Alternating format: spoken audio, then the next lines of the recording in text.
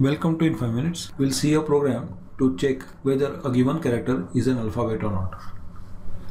Now here our program is supposed to input a single character from user and check whether it's an alphabet or not. So a program has to output whether it's alphabet or not alphabet. So it will be again done by if else statement.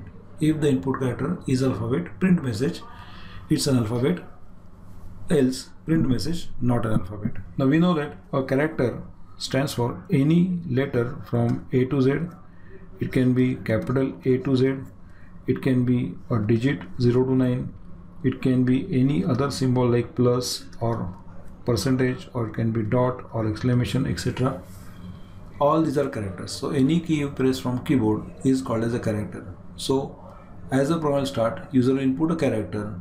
The character can be any of these if the input character is any of A to Z, lowercase or capital A to Z, then you have to print a message, it's a alphabet. Now how to check whether the given character is from A to Z? Now we know that every character has a code that is for example lowercase a is 97 and z is 122 same way uppercase a is 65 and z is 90 so if the input character is between these two or these two that is 65 to 90 then it's an alphabet.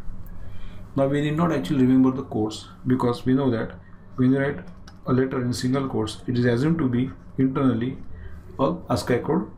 For example a written in single quotes is 97 or if I write suppose character 3 in single quotes it's supposed to be 51 and so on.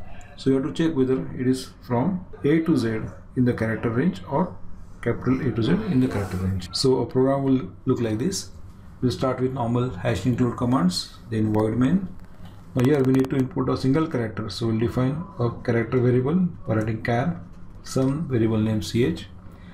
Then to input a character we'll first give a message printf enter a character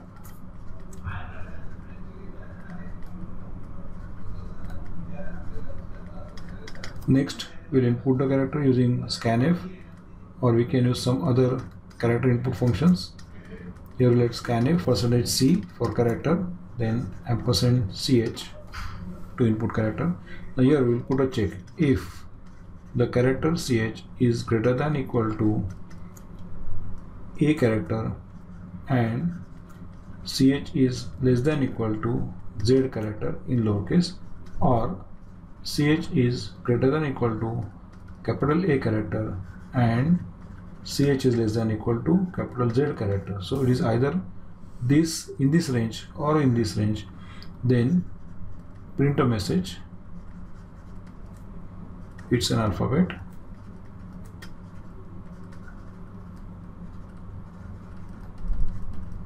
Else print a message not an alphabet.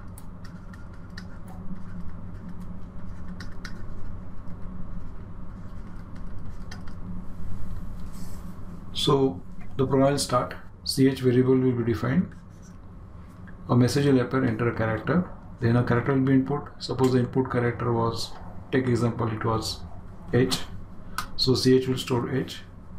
Computer will check whether ch is greater than equal to a and less than equal to z. That is false because it is not in this range. Then computer will check for is it greater than equal to capital A and less than equal to capital Z so this condition is true and here is or. So any one condition is true and that's why message will be shown as it's an alphabet and else part will be skipped. For example suppose the input character was some character 3 then ch will hold character 3 program check for is it between a to z? That is false.